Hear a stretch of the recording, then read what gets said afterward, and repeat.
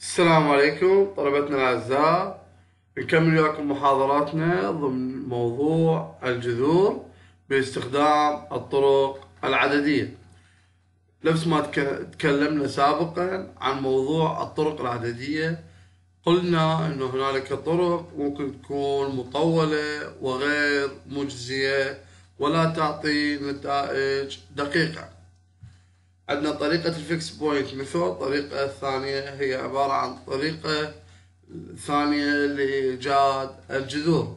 ولكن طريقة مطولة نفس ما نشوف عندنا بالمثال الأول إنه آه، طريقة مطولة تكون عندنا لهذا السبب راح تكون هاي الطريقة عندكم للاطلاع فقط. فننتقل إلى صفحة 13 ناخذ الطريقة الثانية اللي هي طريقة نيوتن رافسون ميثود. طريقة مهمة جدا. الطريقة اللي عندنا اللي هي الثالثة طريقة نيوتن.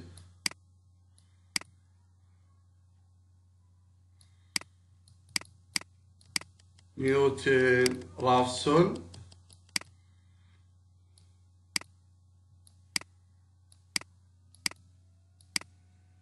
مثال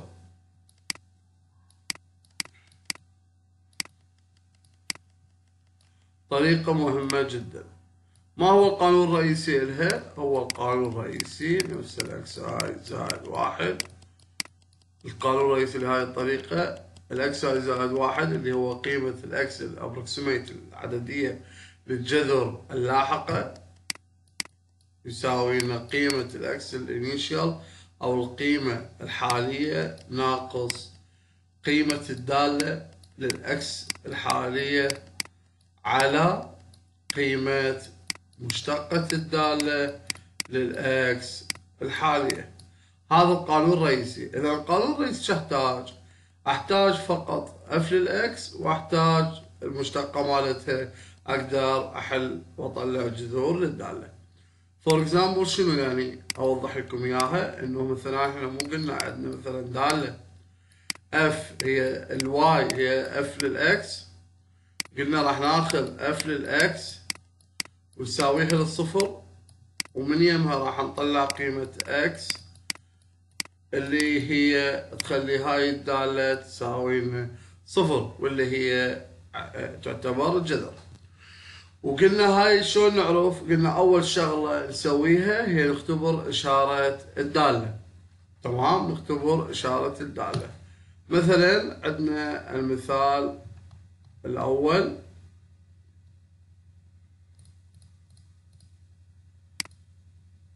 مثلا عندنا المثال الأول. عندنا هذا المثال. كما هو موضح. عندنا الدالة عبارة عن X تربيع ناقص أربعة sine ومجرد انه اوضح إنه هي الدالة شنو؟ F لل X عبارة عن X تربيع ناقص أربعة sine ال X تمام؟ أربعة sine ال X هاي هي الدالة. والسؤال شو يقول؟ يقول أوجد positive root positive root. يريد الجذر الموجب. شو يريد؟ يريد الجذر الموجب. إيش قد مطين الدقة؟ واحد في عشرة. والسالب ستة. هاي جدا مهمة. إنه أنا الدقة إيش قد؟ واحد في عشرة. والسالب ستة. رايد من يمي ال positive root؟ دا يقول لي جذر الموجب. ما قايل لي root؟ لا قايل لي root. اذا يريد جذر واحد موجب يقول لك بس أريد الدقة مالتي. واحد في عشرة سالب ستة. شنو معناها؟ معناها عندما تصل الدلتا اللي هي نسبة ال error أقل من هاي نسبة ال accuracy أو الدقة مالتي فراح أتوقف بالحل تمام؟ راح أتوقف بالحل. إذا أول شغلة شو أسويها؟ عندي هاي الدالة؟ يقول لك positive root إذا أول شغلة بأي مسألة هي أختبر الدالة. أول شغلة هي اختبر الدالة. بما أنه قال لي موجب إذا أبدي بالصفر فيبدي بالصفر راح تطلع قيمته اللي عندي صفر. بعدين أقدر أبدي بالواحد راح تطلع قيمته سالب اثنين. point ثلاثة something فشي أرقام بعدين والنوب راح نفرض اثنين. راح نفرض اثنين راح تطلع قيمته point three six three والنوب ثلاثة طلعت قيمته ثمانية point أربعة. بما أنه صار تغيير من السالب إلى الموجب معناها أكو جذر بين هاي القيمتين. معناها شنو؟ أكو جذر بين هاي القيمتين. وإذا نجي نستخدم الحاسبة الكاسيو ندخل هاي الدالة ضمن ال table الموجود عندنا نفس ما تعلمنا خلال المحاضرة. ونطلع القيم من سالب إلى الموجب فراح نلقى إنه التغاير فقط يكون ما بين قيمة x واحد إلى قيمة x اثنين ليصفر عندي الدالة. ما بين قيمة x يساوي واحد وقيمة x اثنين ليصفر عندي الدالة. تمام؟ إذا عند الصفر صفر إذا قيمة الجذر صفر صفر فهاي الجذر الأول خلينا نعتبره. إحنا قيمة الجذر اللي يهمنا اللي هو ما بين الأكس يساوي واحد والأكس يساوي اثنين. ما بين يا قيمة الأكس يساوي واحد والأكس يساوي اثنين. نجي شغلة ثانية بما أنه قيمة الجذر الموجب أنا عندي between تقع بين ال X اللي قد يساوي لي واحد وال X الثاني قد يساوي لي اثنين. تمام؟ تمام. ليش؟ نجي هسه نختار نحتاج من هالقيمة ال X نحتاج القيمة اللي تكون أقرب to اللي هو القريبة زين شلون أعرف القريبة؟ قلنا القريبة اللي قيمتها صغيرة تقترب من الصفر هاي point 3 هي أقرب للصفر من سالب 2.3 شلون؟ نجي نوضحها هنا إحنا قلنا عندنا هاي الصفر مالتنا نفرض بغض النظر إنه المحاور بال X أو بال Y وإذا نريد الخط نحط خط للأعداد نفرض إنه هاي سالب واحد سالب اثنين وهنا هاي الواحد نفرض هاي اثنين.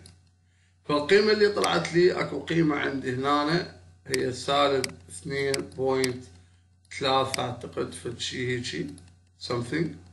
سالب اثنين point ثلاثة.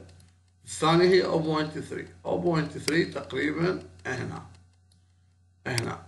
هاي X تساوي اثنين وهنا قيمتها عندما X قد تساوي لي واحد. اذا X naught قد تساوي لي اثنين. ليش اختارينا X naught اثنين؟ اللي هو ال initial القيمة الفرضية الأولى؟ لأنه هي تكون مسافتها أقرب إلى الصفر من هاي المسافة. إذا هنا ياخذ لي مثلا خلينا نقول فد عشر خطوات هنا ممكن ياخذ لي ثلاث خطوات. فأنا هاي أهم شغلة إنه أبدي بيها هي ال X naught. هي شنو؟ ال X naught. ال X naught قد راح يساوي لي ال X naught راح يساوي لي اثنين. هاي أول شغلة. ثاني شغلة قلنا أول iteration شريد منكم تحلوها بتفاصيلها. فهاي الدالة اللي عندي هاي مالتنا الرئيسية. فعوض لل F المن لل X naught اللي هو ال F المن للاثنين فعوض لي فطلعت قيمته إنه ست مراتب أخذ بعد الفاصلة فأخذ 0.3 رجع النوب إحنا إيش راح نسوي؟ راح نشتق الدالة اشتقه والنوب راح نعوض ال X ال initial بمن بالمشتقة وأيضا راح نستخرجها بالاخير راح اطبق الدالة انه ال X i زائد واحد اللي هو ال X واحد طبعا يعني بالصفر فهذا راح يصير X واحد. إذا أنا بالواحد قد راح يصير هذا ال X X اثنين. وإذا هذا بالثلاثة هذا X ثلاثة إلى ما لا نهاية. إذا أنا X واحد طلع لي واحد point تسعة هذا ال X الأول.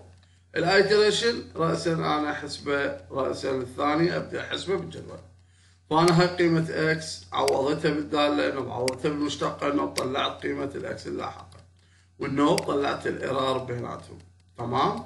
النوب شو راح أسوي؟ هاي القيمة ال X اللاحقة راح تصير هنا هي نفسها هاي القيمة راح تنزل نفسها بال X اللي بعدها والنوب نرجع نطبق نفس الخطوات. والنوب هاي القيمة هاي القيمة راح تنزل نفسها وين هنا والنوب وهكذا. النوب هاي القيمة راح تنزل. نفسها هنا بما إنه طلعت قيمة ال X هاي النهائية فيوم طلع ال error طلع 2.3 في 10 سالب 7 وبالتالي أصغر من 10 سالب 6 اذا هنا أتوقف. أنا بالحل إذا الجذر مالتي هو هو آخر قيمة طلعت لي. هاي قد آخر قيمة؟ 1.933 سبعة خمسة أربعة وهنا واحد point تسعة ثلاثة ثلاثة سبعة خمسة أربعة. تمام شباب؟ تمام طلبتنا الأعزاء لهنا نكمل موضوعنا اليوم اللي هو Newton Raphson method. نطبق الجدول اللي بعده عبارة عن اختصار. يقول لك إنه ممكن تعطيني هيج تفاصيل وممكن إنه تختصرها كلها قانون واحد. أنا أفضل هاي الطريقة الجدول الأول حتى لا يكون عندك خطأ وممكن تستخدم الطريقة الثانية للجدول. أنا ما عندي أي مشكلة بالموضوع. السؤال الثاني محلول عندكم يعتبر واجب عليكم إنه تحلوه بتفاصيله بإيدكم. نفس الخطوات ونفس الترتيب. إن شاء الله راح ناخذ المحاضرة القادمة بطريقة ال modified. Newton method ونختم موضوعنا للجذر إن شاء الله. اتمنى لكم التوفيق. لا تنسون الاشتراك بالقناة والمتابعة. بالتوفيق.